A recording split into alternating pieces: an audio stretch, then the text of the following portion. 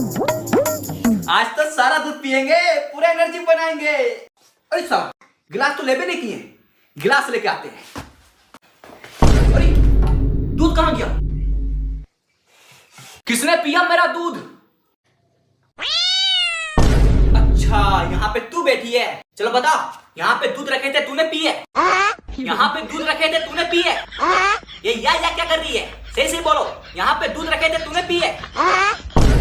तू ऐसे नहीं बोलेगी। लगता है तुमको भी टेंगे टेंगे वाला हाल करना पड़ेगा। रुक बेटा। लास्ट बार बोल रहा हूँ। यहाँ पर दूध रखे थे तूने पिए। अब तो तू गया बेटा। अब कर या या।